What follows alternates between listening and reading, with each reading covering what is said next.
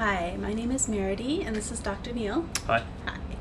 And we're coming to you today from Sydney, Australia, the headquarters of N Squared, which is a worldwide software company. And today we're going to talk a little bit more about education and technology.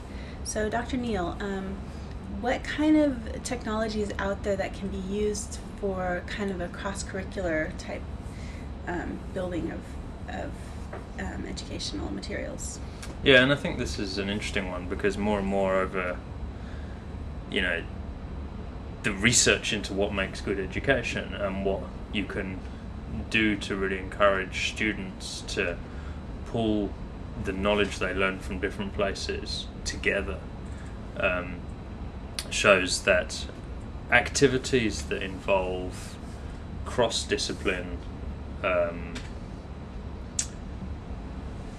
I guess elements mm-hmm. will uh, will help those students understand things. So, um, and and it's I guess to some degree not surprising that if you get someone that's really interested in history, for example, if in order to understand something about history they have to use some math or they have to use, you know, they have to use something from other disciplines, like understand some geography as to why something occurred in history, mm-hmm. but history is their core fascination, mm-hmm. then you can start using that. And I guess if you think about, you know, what is it that it takes to create a real, you know, cross discipline um, strength in a student, you know, the, uh, the goal is to create, I guess, a kind of polymath, someone that has skills in lots of disciplines and, and can dip their toe into different areas and is interested in doing and fascinated by doing mm-hmm. so and, and is encouraged to do so.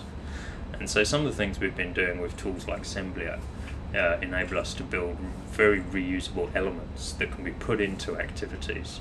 So, for example, one of the uh, examples we've been building recently is um, tools for measuring and using geometry for measuring distances and angles and those kind of things. And then we can apply those and we can bring those tools into a history lesson to determine, you know, how big was Napoleon's empire when he first came into, when he was first coronated, how big was it, you know, after he had invaded a whole bunch of countries and what was the size difference. And now they're applying geometry and they're applying math to a history lesson, and yet their fascination may be with history. Um, and then we bring up maps and then they start thinking about geography and they start thinking about routes that Napoleon has to march through. And so they're starting to engage in different disciplines while still being attracted into that one thing. So I guess one of the things we've been working a lot on is how do we a build very reusable components mm-hmm. for learning that can be then put into rich learning environments um, and used in you know different subjects, different subject matter. Um, and Semblio has been pretty useful in enabling us to do that. Uh, and then, you know, is Semblio powerful enough to enable us to do things on different platforms like Surface, like Windows 7 multi-touch, like Multipoint? And so that's the other thing we've been doing is building these activities so they're ready and, and they work now with Semblio, they work, you know, the Semblio activities work with Windows 7 multi-touch, they work with Surface, and they work with multiple mice plugged in with multipoint. So doing that kind of thing then gives us this base set of really interesting elements that we can push into different subject matter activities.